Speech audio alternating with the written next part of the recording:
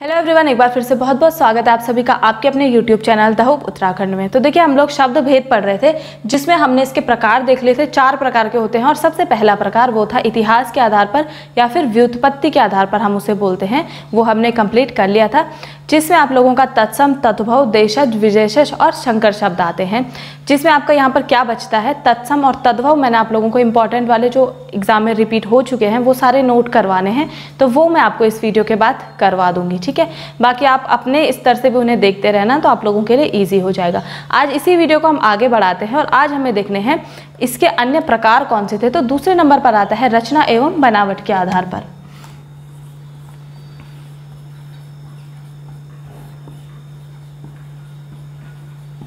रचना या बनावट के आधार पर। तो रचना या बनावट के आधार पर शब्द आपके कितने प्रकार के होते हैं? तीन प्रकार के होते हैं, ठीक है? तो अगर आपसे एग्ज़ाम में पूछेगा, रचना या बनावट के आधार पर शब्द कितने प्रकार के होते हैं, आपको पता होना चाहिए, तीन प्रकार के होते हैं, जिसमें सबसे पहला है रूढ़ शब्द, दूसरा है यौगिक शब्द और तीसरा है आपका योग रूढ़ शब्द, ठीक है? तो इनके नाम आपको पता होना चाहिए और सबसे पहला योग रूढ़ शब्द किसे कहते हैं, वो आप लोग देख लीजिए। रूढ़ शब्द उन शब्दों को कहा जाता है जो विभाजित होकर, यानी कि अलग होकर, जिनका कोई भी सार्थक अर्थ नहीं निकलता है, यानी सार्थक खंड जिनका न हो, उनको कहा जाता है रूढ़ शब्द। तो आपको लिखना है, जिन शब्दों का सार्थक खंड ना हो। खंड न हो। ये क्या कहलाते हैं? रूढ़ शब्द कहलाते हैं। सार्थक का क्या मतलब है? सार्थक का मतलब होता है जिसका कोई अर्थ निकलता है।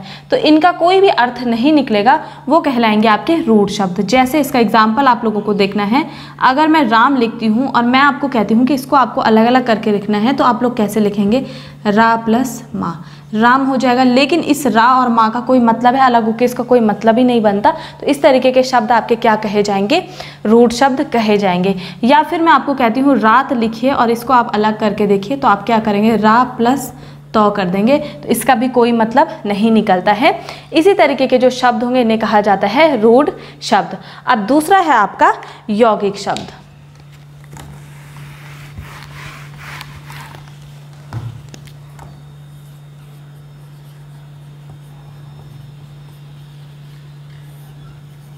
यौगिक शब्द उन शब्दों को कहा जाता है जिनके खंड होके, यानी कि अलग अलग होके ये कुछ विशेष अर्थ निकालते हैं। अर्थात जो दो शब्दों के या दो से अधिक शब्दों के मेल से बनते हैं, उनको कहा जाता है यौगिक शब्द, ठीक है? ये यौगिक है, यौगिक नहीं है, ठीक? तो इनको कहा जाएगा यौगिक शब्द। अब इसके उदाहरण आपको किस तरीके से दे सकते हैं? सबसे पहले तो आप इसकी परिभाषा लिख लीजिए। वो शब्द जो दो या दो से अधिक शब्दों से मिलकर बने होते हैं, ठीक है? दो या दो से अधिक शब्दों से मिलकर बने होते हैं। ठीक है? मिलकर बने होते हैं और इनका जब आप खंड करेंगे तो एक अर्थ निकलेगा। जैसे जैसे अगर मैं यहाँ पे लिखती हूँ राजपुत्र, और इसको आपसे खंड कहने के लिए कहती हूँ तो इसको हम क्या कह सकते हैं? राजा का पुत्र। इस तरीके के जो शब्द होते हैं, इनको कहा जाता है यौगिक शब्द। जैसे राजपुत्र मैंने लिखा, शॉर्ट में इसको क्या कहा जाएगा? राजपुत्र। लेकिन जब आप इसको खंड करेंगे तो किस तरीके से होगा? राजा का पुत्र। इसी तरीके से आपका होता है पाठशाला। ठीक है? पाठशाला को अगर अलग करेंगे तो क्या होगा? पाठ प्लस शाला। यानी पाठशाला किसे कहा जाता है? जो विद्या का घर होता है, यानी जहाँ पर आपको शिक्षा मिलती है, उसको कहा जाता है पाठशाला। तो पाठ का मतलब होगा घर सॉरी पाठ का मतलब होगा विद्या, और शाला का मतलब क्या होता है? घर। तो इस तरीके जो शब्द होते हैं, उनको कहा जाता है यौगिक शब्द, ये आपको पता होना चाहिए। अंतिम है आपका योग रूढ़ शब्द।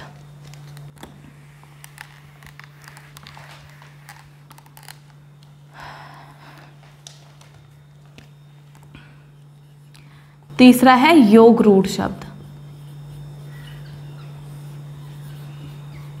अब इसमें आप देख रहे होंगे योग भी है और रूढ़ भी है, यानी कि दोनों से मिलकर बना है, तब जाकर ये क्या हुआ है, योग रूढ़ हुआ है। योग मतलब क्या है? इसमें दो या दो से अधिक शब्द तो होंगे ही होंगे, साथ में क्या है? रूढ़ है।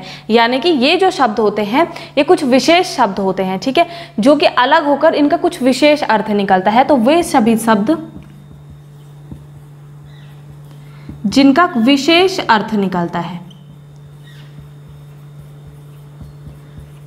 ठीक है? विशेष अर्थ निकलता है। क्या कहलाते हैं? योग रूढ़ शब्द कहलाते हैं। ठीक है? इसका अगर मैं आपको उदाहरण देती हूँ तो इसका सबसे पहला उदाहरण आपको लिखना है पीताम्बर पीताम्बर किसको कहा जाता है? पीताम्बर का मतलब क्या होता है? सबसे पहले ये पता होना चाहिए। पीताम्बर का मतलब होता है पीला वस्त्र। पीला प्लस वस्त्र, ये होता है पीताम्बर का मतलब। और ये जो पीताम्बर है, किसके लिए ये शब्द यूज़ किया जाता है? श्री कृष्ण के लिए ये शब्द यूज़ किया जाता है, ठीक है? तो इसका, ये किसके लिए यूज़ किया जाता है? श्री कृष्ण के लिए। इस तरीके के जो शब्द होते हैं, जो खासकर किसी एक चीज़ को मतलब एक चीज़ को बताते हैं, एक पर्टिकुलर पर्सन को बताते हैं, कोई भी चीज़ को बताते हैं, उसको कहा जाता है योगरूढ़ शब्द। इसी प्रकार से जो आपका दशानन है, दशानन का क्या मतलब होता है? दस सर वाला तो वो कौन है? रावण है, वो भी आपका क्या होगा? योगरूढ़ होगा। इसी तरीके से पंकज अगर हम कहें तो पंकज का आप अर्थ निकालेंगे तो क्या होगा अगर हम इस पंकज को इस तरीके से निकालते हैं? तो पंक का मतलब होता है कीचड़, ठीक है? और जौ का मतलब होता है जल। तो जो जौ का मतलब होता है उत्पन्न। तो जो कीचड़ में उत्पन्न होता है, उसको कहा जाता है पंकज, और वो कौन है? कमल है। तो इस तरीके के जो शब्द होते हैं, जिनका एक विशेष अर्थ होता है, उनको कहा जाता है योग रूढ़ शब्द, ठीक? तो ये चीज़ आपको पता होना चाहिए। एग्ज़ाम में क्वेश्चन कैसे पूछेगा, आपको कुछ शब्द दे देगा, उनमें से आपको पूछेगा कि निम्नलिखित में से कौन सा रूढ़ शब्द है, कौन सा इसमें से योग रूढ़ शब्द है और कौन सा यौगिक शब्द है। तो आपको कम से कम इतना पता होना चाहिए कि ये किस तरीके से आपको इन्हें पढ़ना है, ठीक है? तो ये आपका हो गया रचना या बनावट के आधार पर। अब आगे बढ़ते हैं और इसका तीसरा रूप देखते हैं, तीसरा भाग इसका देखते हैं, वो है रूप या प्रयोग के आधार पर। ठीक है? तो अब शब्द का जो तीसरा भाग है, वो क्या है? रूप या प्रयोग के आधार पर। रूप ऑब्लिक प्रयोग के आधार पर।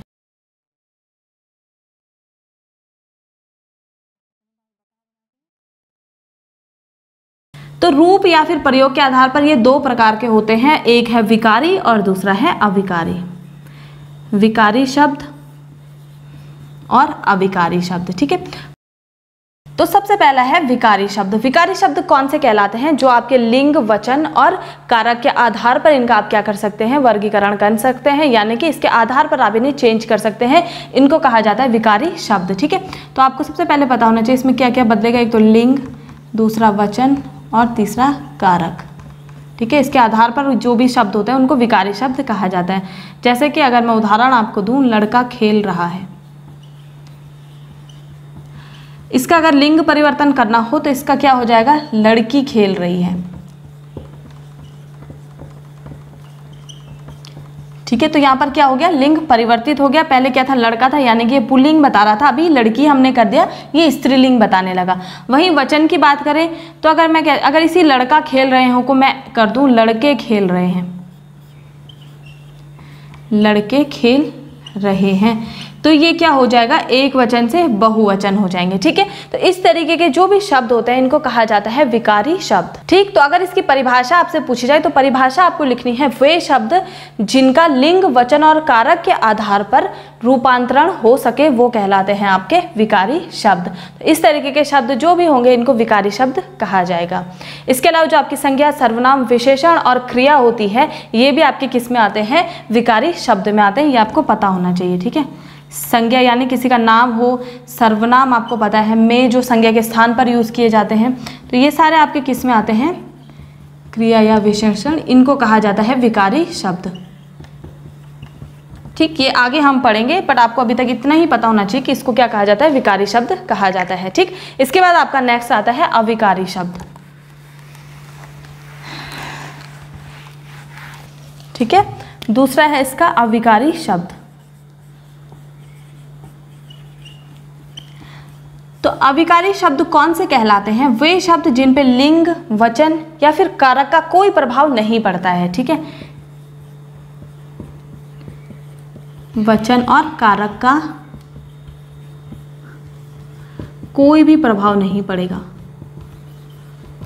प्रभाव नहीं पड़ता है। ये आपके क्या कहलाते हैं? अविकारी शब्द कहलाते हैं, ठीक है? तो अविकारी शब्द में कौन से मुख्यतः आते हैं? जो भी आपके अव्यय होते हैं, वो सारे आपके अविकारी शब्द में आते हैं। जैसे कि आज कल में, से, पर, ये जो भी हैं, अव्यय के प्रकार अभी हम पढ़ेंगे आगे चलकर। तो अव्यय आपके किसमें आते हैं? अविकारी शब्द में आते हैं। वही संज्ञा, सर्वनाम, विशेषण या फिर क्रिया आपकी किसमें आती है? विकारी शब्द में आती है। तो जैसे कि आज कल में से, पर जो ये सारे शब्द होते हैं, ये आपके किसमें आएँगे? अविकारी शब्द में आएँगे, ठीक है? तो ये आपका हो गया रूप प्रयोग के आधार पर कितने प्रकार के हैं? दो प्रकार के, विकारी और अविकारी शब्द, ठीक है? इनके अंदर की चीज़ मैंने आपको बता दी है, ये आपको इस तरीके से याद करने हैं। अब बढ़ते हैं अंतिम भाग की तरफ़, जो कि है चौथा। तो आप लोग समझ गए होंगे, विकारी और अविकारी में डिफरेंस क्या है? मेनली जो डिफरेंस है वो किस चीज़ का है? जो आपके विकारी शब्द हैं। इनमें लिंग, वचन और कारक का आप लोग क्या है, प्रभाव पड़ता है। यानी अगर लड़का है तो उसे आप लड़की कर सकते हो पुलिंग से स्त्रीलिंग कर सकते हो, ठीक है? वहीं अगर एक वचन है, उसको बहुवचन कर सकते हो। लेकिन जो आपके अविकारी शब्द हैं, इन पर इसका कोई प्रभाव नहीं कर, पड़ता है। प्रभाव कैसे नहीं पड़ेगा? जैसे आज है तो इस आज को ना ये स्त्रीलिंग है, ना पुलिंग है, ना इस पर कोई कारक है, ना कुछ है, इसको आप बदल नहीं सकते हो। ये आज का आज ही रहेगा। या फिर अगर किसी शब्द के बीच में मे आता है तो इस मेक पे आपका किसी भी प्रकार का कोई प्रभाव नहीं पड़ेगा। ये मे ही रहेगा। तो इस तरीके के जो शब्द हैं, इनको क्या कहा जाएगा? अविकारी शब्द कहा जाएगा। और ये आपके किसमें आते हैं? अव्यय में आते हैं। अव्यय में भी अलग अलग प्रकार के अव्यय होते हैं। उनको हम आगे पढ़ेंगे। तो उस तरीके के जो भी शब्द हैं, वो आपके कौन से हैं? अविकारी शब्द होते हैं। अब मैं उम्मीद करती हूँ आप लोग समझ गए होंगे, ठीक है? अब आगे बढ़ते हैं और अंतिम देखते हैं, वो है अर्थ के आधार पर।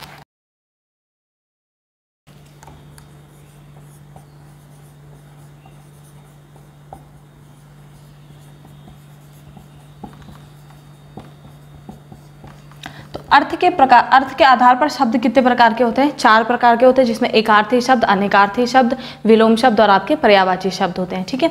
तो एकार्थी शब्द एकार्थी शब्द किन्हें कहा जाएगा? जिन शब्दों का सिर्फ़ एक ही अर्थ निकल कर आता है, यानी उनके बहुत सारे अर्थ नहीं होते हैं, वो शब्द कहलाते हैं एकार्थी अर्थ। एकार्थी शब्द, वहीं अगर अनेकार्थी की बात की जाए तो यानी एक शब्द के जब बहुत सारे अर्थ निकल कर आते हैं तो इनको कहा जाता है अनेकार्थी शब्द, ठीक है? एक आरती शब्द में अगर मैं आपको उदाहरण दूँ तो मैं अगर गंगा लिखती हूँ तो गंगा का एक ही अर्थ है गंगा है, ठीक है? उसका नाम गंगा हो सकता है या गंगा ही इसका मतलब होता है। लेकिन अगर मैं अनेकार्थी शब्द का आपको उदाहरण देने यहाँ पर बैठूँ तो अगर मैं यहाँ पे कनक लिखती हूँ तो इस कनक का क्या मतलब होता है? सोना भी हो सकता है और धतूरा भी हो सकता है। सोना या फिर इसका अर्थ क्या होता है? धतूरा भी हो सकता है। इस तरीके के जो शब्द होते हैं, यानी जिनका सिर्फ़ एक अर्थ निकल कर आता है, एकार्थी शब्द कहे जाते हैं, और जिनके बहुत सारे शब्द या बहुत सारे अर्थ या दो से ज़्यादा अर्थ निकल कर आते हैं, उनको क्या कहा जाता है? अनेकार्थी शब्द कहा जाता है, ठीक है? अब देखिए, मैंने कुछ इंपॉर्टेंट एकार्थी शब्द, अनेकार्थी शब्द आप लोगों के लिए लेकर मैं आई हूँ, जिन्हें मैं अभी बोर्ड पर लिख लेती हूँ, आपको उन्हें नोट कर लेना है। ये बहुत बार एग्ज़ाम्स में रिपीट भी हुए हैं, और आपको इन्हें इसी तरीके से याद कर लेना है। तो समय बचाने के लिए मैं इन्हें यहाँ पर लिख लेती हूँ, आप इन्हें फिर नोट कर लेना। तो ये कुछ एकार्थी शब्द मैंने यहाँ पर लिखे हैं, इनको आपको ऐसे ही नोट कर लेना है और इन्हें याद कर लेना है ठीक है? सबसे पहले मैंने लिखा है वाचाल। वाचाल किसको कहते हैं? जो बहुत ज़्यादा बोलता है, बहुत ज़्यादा बोलने वाले को क्या कहा जाएगा? वाचाल कहा जाएगा। वहीं अगर मितभाषी आपसे पूछा जाए तो मितभाषी कहा जाता है कम बोलने वाले को, ठीक है? वाचाल ज़्यादा बोलने वाले को मितभाषी कम बोलने वाले को। अपरिमेय अगर पूछा जाए तो जिसे नापा ना जा सके, यानी कोई भी वस्तु जिसको नापा नहीं जा सकता है, उसको क्या कहा जाएगा? अपरिमेय कहा जाएगा। मृत्युंजय किसको कहा जाएगा? जिसने मृत्यु को जीत लिया है, ठीक है? उसको क्या कहा जाएगा? मृत्युंजय कहा जाएगा। मुमुक्ष मुमुक्ष का मतलब होता है मोक्ष की इच्छा रखने वाला। उसको क्या कहा जाएगा? मुमुक्ष कहा जाएगा, ठीक है? अन्य मनस्क अन्य मनस्क का मतलब होता है जिसका मन किसी दूसरे की ओर हो, ठीक है? अन्य मनस्क अगर पूछा जाए तो जिसका मन किसी दूसरे की ओर हो, उसको क्या कहा जाएगा? अन्य मनस्क कहा जाएगा। औपनिवेशिक किसको कहा जाएगा? जिसका संबंध उपनिवेश से होता है, उसको औपनिवेशिक कहा जाएगा, ठीक है? औपनिवेशिक है ये। इसके बाद हौदा आपको अगर पूछा जाए तो हाथी की पीठ पर जो बैठने के लिए बनाया जाता है, उस आसन को कहा जाता है हौदा। और लास्ट है आपका शाश्वत। शाश्वत किसे कहा जाएगा? हमेशा रहने वाले को, ठीक है? उसको कहा जाता है शाश्वत। इसी प्रकार से मैं और अभी लिखने वाली हूँ, आप लोग इन्हें ऐसे ही नोट कर लेना। उसी के आगे से आपको लिखना है उरंग। उरंग का क्या मतलब होता है? छाती के बल चलने वाला। नेक्स्ट है अमोघ। अमोघ का बल होता है निष्फल ना होने वाला, ठीक है? निष्फल ना होने वाला। अस्त्र का मतलब होता है दूर से चलाया जाने वाला। इसी के बाद एक आता है आपका शस्त्र। शस्त्र का मतलब क्या होता है? जिसको आप पास से चला सकते हो, ठीक है? यानी कि हाथ पे पकड़कर जो चलाए जाते हैं, वो शस्त्र होते हैं हाथ पर पकड़कर पास में ही जो चलाए जाते हैं। लेकिन जो दूर तक चलाए जाते हैं, उनको क्या कहा जाता है? अस्त्र कहा जाता है। नेक्स्ट है आपका सदावृत। सदावृत का मतलब है दीन दुखियों के लिए जो भोजन की व्यवस्था करता है, उसको कहा जाता है सदावृत। उसके बाद है उऋण। उऋण का मतलब होता है जिसने ऋण चुका दिया हो, उसको क्या कहा जाएगा? उऋण कहा जाएगा। अग्रज अगर आपसे पूछा जाए तो जिसका जन्म पहले हुआ हो, उसको अग्रज कहा जाएगा। और अनुज किसको कहा जाएगा? जिसका जन्म बाद में होगा। यानी जो बड़ा भाई होता है, उसको अग्रज कहते हैं और छोटे भाई को अनुज कहते हैं। इसके बाद है जीजीविशा जीजीविशा का मतलब होता है अधिक समय तक जीने की इच्छा रखने वाला, ठीक है? नेक्स्ट आपका जिगिशा। जिगिशा का मतलब होता है जीतने की इच्छा रखने वाला, ठीक है? जो जीतने की इच्छा रखता है। जठराग्नि। जठराग्नि का आपको सबको ही पता होगा, जो हमारे पेट में भी होते हैं, एक जठराग्नि जिसको कहा जाता है। अन्न को पचाने वाली आग को क्या कहते हैं? जठराग्नि कहते हैं। दवानल। दवानल का क्या मतलब होता है? जंगल में लगने वाली आग, और ये बहुत ज़्यादा आपसे एग्ज़ाम में पूछा जाता है, ठीक है? दवानल, ये ध्यान रखने हैं। बाकी ध्यान तो सभी रखने हैं ये वही हैं जो आपसे पूछे जाते हैं। अभूतपूर्व अभूतपूर्व का मतलब है जो पहले ना हुआ हो, उसको कहते हैं अभूतपूर्व। अद्वितीय अगर आपसे पूछा जाए तो जिसके समान दूसरा ना हो, अद्वितीय शब्द है जिसके समान दूसरा ना हो, उसको क्या कहते हैं? अद्वितीय कहते हैं। अनाहुत अगर आपसे पूछा जाए तो जिसे बुलाया ना गया हो, उसको क्या कहेंगे? अनाहूत कहेंगे। नंद कानन का मतलब होता है देवताओं का उपवन, उसको कहते हैं नंद कानन, ठीक है? बहुज्ञ अगर आपसे पूछा जाए तो बहुत जानने वाला, ये कहलाता है बहुज्ञ, ठीक है? इसके बाद है अन्योदर। अन्योदर का मतलब है जो अन्य माता से उत्पन्न होता है, उसको कहा जाता है अन्योदर। अधयुधा अगर आपसे पूछा जाए तो जिसका पति दूसरा विवाह कर लेता है, इसको लिख लेने यहाँ पे साफ़ नहीं आया है। अधयुधा का मतलब होता है जिसका पति दूसरा विवाह कर लेता है, उस स्त्री को कहा जाता है अधयुधा ठीक है? अप्रत्याशित का क्या मतलब होता है? जिसकी आशा न की गई हो, उसको अप्रत्याशित कहा जाएगा। अजात शत्रु जिसका कोई भी शत्रु नहीं होगा, उसको कहा जाएगा अजात शत्रु और अजानुबाहु कहा जाएगा, जिसकी भुजाएँ जो है वो घुटनों तक पहुँचती हो। यानी लंबी भुजाएँ वाले को क्या कहा जाएगा? अजानुबाहु कहा जाएगा, ठीक है? इसके बाद थोड़े बहुत और बचते हैं उन उनको अभी हम नोट कर लेते हैं, वो भी आप लोग नोट कर लेना। ठीक है, उसी के आगे अब आपको लिखना है राजसिक। राजसिक का क्या मतलब होता है? राजा के गुणों वाला, रजो गुणों वाला, ठीक है? उसके बाद है सदा स्नाता। सदा स्नाता का क्या मतलब है? जिसने अभी अभी स्नान किया हो। स्नान करके जो अभी अभी आया है, उसको कहा जाएगा सद्या स्नात। समाजवाद का मतलब होता है सबके समान अधिकारों पर विश्वास रखने वाला, ठीक है? यानी समान अधिकारों पर विश्वास रखने वाले को समाजवाद कहा जाएगा। किवदंती का क्या मतलब होता है? जो लोगों के द्वारा सुनी गई बात होती है, उसको कहा जाता है किवदंती। ठीक है? कृतहन कहा जाएगा, किए गए उपकारों को न मानने वाला कृतहन कहा जाएगा, ठीक है? उसके बाद है, किम कर्तव्य विमूढ़, किम कर्तव्य विमूढ़ है ये, ठीक है? जिसे अपने कर्तव्यों का वो बोध नहीं होता है, उसको क्या कहा जाएगा? किम कर्तव्य विमूढ़ कहा जाएगा। नेक्स्ट है आपका अनुग्रहित। अनुग्रहित का मतलब होता है जिस पर अनुग्रह किया गया हो, ठीक है? जिस पर कोई भी अनुग्रह किया गया हो, उसको कहा जाएगा अनुग्रहित। अधीर का मतलब होता है जिसे धैर्य नहीं होता है, ठीक है? उसको कहा जाता है अधीर। निर्लिप्त का मतलब होता है जिसे किसी से लगाव नहीं होता है, ठीक है? यानी लगावहीन जो इंसान होता है, उसे निर्लिप्त कहा जाता है। निशीय का मतलब होता है अर्धरात्रि का समय। अर्धरात्रि का, यानी आधी रात का समय को कहा जाएगा निशीय। दीर्घ सूत्री का मतलब होता है धीमी गति से कार्य करने वाला। जो बहुत धीरे धीरे कार्य करता है, उसको कहा जाता है दीर्घ सूत्री। और अंतिम है आपका गतानुगति। गतानुगति का मतलब होता है प्राचीन आदर्श के अनुसार चलने वाला। जो कि रूढ़ीवादी टाइप के लोग होते हैं ना, जैसे बहुत पुरानी बातों पर चलता है, उन्हें कहा जाता है गतानुगति। तो ये आपके क्या थे? एक एकार्थी शब्द थे जो आपको ऐसे ही लिख लेने हैं। और आगे आने वाले एग्ज़ाम्स में उम्मीद तो ये है, यहीं से कुछ ना कुछ आ जाए। बाकी आप अपने स्तर से भी देख लेना, नहीं तो इनको कम से कम देख कर ही जाना, ठीक है? इसके बाद मैं ऐसे ही आपके यहाँ पर अनेकार्थी शब्द भी नोट कर लेती हूँ, जो आपके लिए काफ़ी इंपॉर्टेंट है। तो ये मैंने कुछ अनेकार्थी शब्द लिखे हैं। सबसे पहले अनेकार्थी का क्या मतलब होता? है मतलब एक शब्द के कई अर्थ निकलते हैं, जब उसको कहा जाता है अनेकार्थी शब्द। जैसे उदाहरण यहाँ पर लिखे गए हैं, इनको आप लोगों को नोट भी करना है, ठीक है? सबसे पहले फल है तो फल को क्या अन्य किस नाम से पुकारा जाता है? एक है मेवा, परिणाम और लाभ। ठीक है, ये भी आपके फल के लिए कहे जाते हैं। पट का क्या मतलब होता है? कपड़ा, पर्दा या किवाड़। ठीक है, पानी का क्या मतलब है? जल, स्वाभिमान या वर्ण, चमक या लज्जा। इतने सारे शब्द पानी के लिए यूज़ किए जाते हैं। ठीक है, पयोधर का क्या क्या मतलब होता है? बादल स्तन, तालाब और पर्वत। वही बालक का अगर आपसे पूछे तो केश, बच्चा या गेहूँ की जो लट होती है, यानी बाली जो गेहूँ को निकल जाती है, उसको भी बाल कहा जाता है। भगवान का क्या अन्य मतलब शब्द इनके लिए प्रयुक्त होते हैं, ईश्वर, महापुरुष और पूज्यगान। ये भी भगवान के लिए कहा जाता है। मर्त्य के लिए मरने वाला शरीर या मनुष्य, उसको क्या कहा जाता है? मर्त्य कहा जाता है। इसी तरीके से नग का क्या मतलब होता है? एक है पर्वत, दूसरा है संख्या, तीसरा है सांप और चौदह है नगीना, ठीक है? कलापी कलापी के क्या क्या है? मोर, कोयल और वटवृक्ष। ये किसके लिए कहा जाते हैं? कलापी के लिए कहे जाते हैं। जात रूप का क्या मतलब होता है? सोना और धतूरा, ठीक है? इसके अलावा कनक के लिए भी सोना और धतूरा प्रयोग किया जाता है।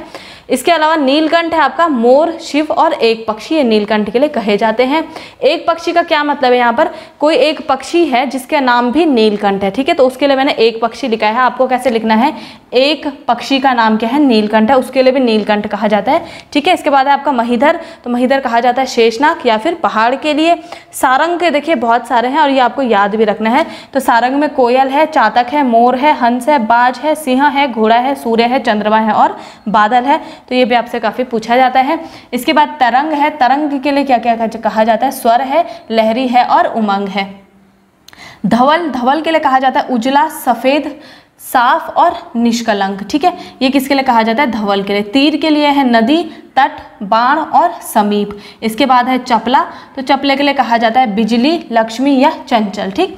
गौ गौ के लिए कहा जाएगा गाय, स्वर्ग, आँख या इंद्रियाँ। इसके बाद है अमृत। अमृत के लिए कहा जाता है सुधा जल, मुक्ति, दूध, मृत्यु रहित। ये किसके लिए कहा जाता है? अमृत के लिए, ठीक है? इसके बाद है कटक। कटक का क्या है? सेना, शिविर, श्रृंखला, समूह और चटाई। ये कटक के लिए कहा जाता है। इसके बाद आब। आब के लिए कहा जाता है पानी, चमक, छवि और शोभा, ठीक है? इसके बाद है अनंत। अनंत के लिए कहा जाता है अंतहीन, नृत्य, आकाशी, बहुत बहुत अधिक और विष्णु, ठीक है? इसके बाद अंकुश। अंकुश के लिए कहा जाता है नियंत्रण और दबाव।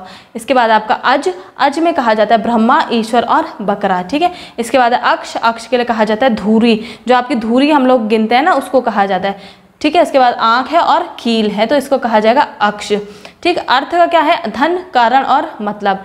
ठीक है, इसके बाद अंतिम में आपका तात, और तात के लिए क्या क्या प्रयोग किए जाते हैं? पूज्य और पिता। तो इस तरीके के आपके अनेकार्थी शब्द आते हैं, जो आपको पता होने चाहिए कम से कम इतने आप लोग रट लेना, इनको अच्छे से देख लेना। आपके एग्ज़ाम में बहुत ज़्यादा हेल्प करेंगे। ठीक है, ये मोस्टली वही हैं जो बहुत सारे यहाँ उत्तराखंड में या अन्य स्टेट में पूछे गए हैं। वही सारे मैंने यहाँ पर कलेक्ट किए हैं तो इनको आप लोग देख लेना। इसके साथ ही वीडियोज़ को आप लोगों को लाइक शेयर करना होगा। उससे मुझे मोटिवेशन मिलेगी, और मैं और अच्छी चीज़ें आप लोगों के लिए निकाल कर लाऊँगी। ठीक है, उम्मीद करती हूँ वीडियो आप लोगों को अच्छी लगी होगी।